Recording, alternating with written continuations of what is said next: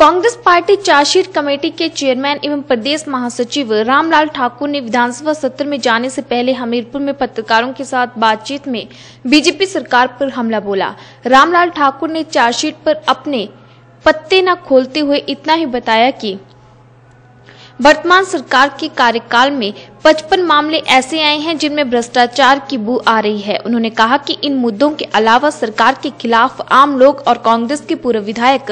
विधायक द्वारा लिखित में दी गई तथ्यों सहित रिपोर्टों को भी चार्जशीट में शामिल किया जा रहा है। रामलाल ठाकुर ने कहा कि 27 दिसंबर को कांग्रेस पार्टी राज्यपाल को चार्जशीट सौंपेगी और ये चार्जशीट तथ्यों के साथ सौंपी जाएगी, न की राजनीतिक द्वेष के साथ।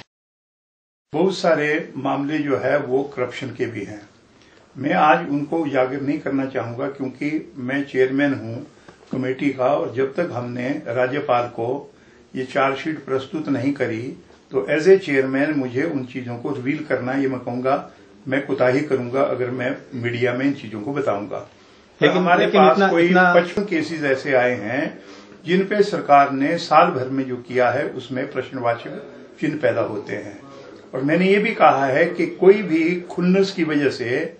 जो है वो ये चार्जशीट फ्रेम नहीं होगी। जब तक हमारे पास डॉक्यूमेंट्री प्रूफ नहीं होगा, जब तक हमारे पास लिखित तौर पे नहीं आएगा, चाहे वो एक्स एमएलए दे रहे हैं, चाहे वो मौजूदा एमएलए दे रहे हैं, चाहे वो फॉर्मर मिनिस्टर दे रहे हैं, चाहे पार्टी के पदाधिकार दे रहे हैं, मैंने तो पब्लिक एट लार्ज से निवेदन किया है कि जो जो भी जिसके पास है, वो कमेटी को दे ताकि हम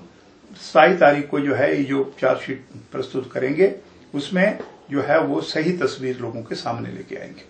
वर्तमान सरकार द्वारा आए दिन लिए जा रहे कर्ज पर रामलाल ठाकुर ने सरकार को घेरते हुए कहा कि भाजपा ने चुनावों से पूर्व कांग्रेस सरकार पर कर्ज लेकर सत्ता चलाने के आरोप लगाए थे, लेकिन वर्तमान सरकार ने एक साल में कर्ज लेने का रिकॉर्ड तैयार कर लिया है। उन्होंने दावा किया है कि सरकार को चलाने के लिए इस वित्तीय साल के अंत तक सरकार एक हज़ार करोड़ का और कर्ज लेगी।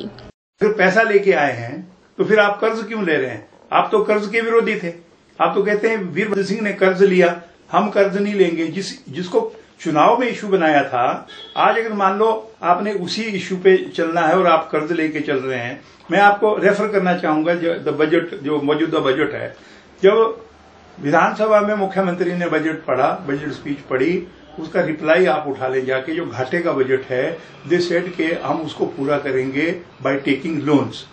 अभी by the end of this financial year मुझे मुझे पूरा मैं, मैं कहूँगा कि विश्वास है कि ये सरकार नहीं चल पाएगी अगर एक हज़ार करोड़ रुपए का कर्ज अगर इस साल वो और नहीं लेंगे तो इस प्रकार से आप लगा लीजिए कि हिमाचल प्रदेश कहाँ पे चला है।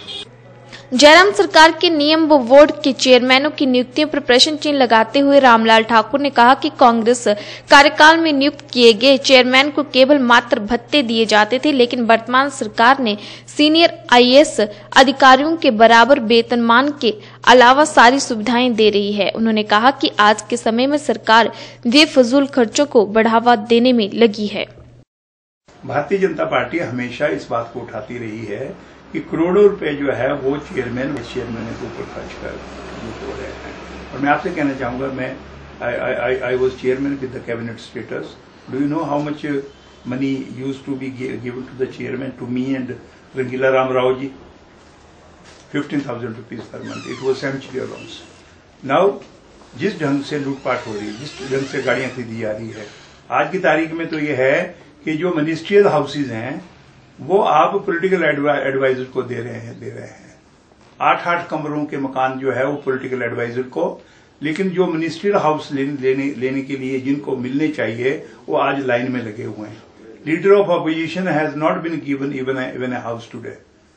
आप ये लगा लें कि ये सरकार किस ढंग से चली है और क्या कर रही है करने में और कहने में बड़ा अंतर है। इसलिए मैं कहना चाहूँगा बहुत सारे बहुत सारे ऐसे इश्यूज़ हैं जो विधानसभा में उठेंगे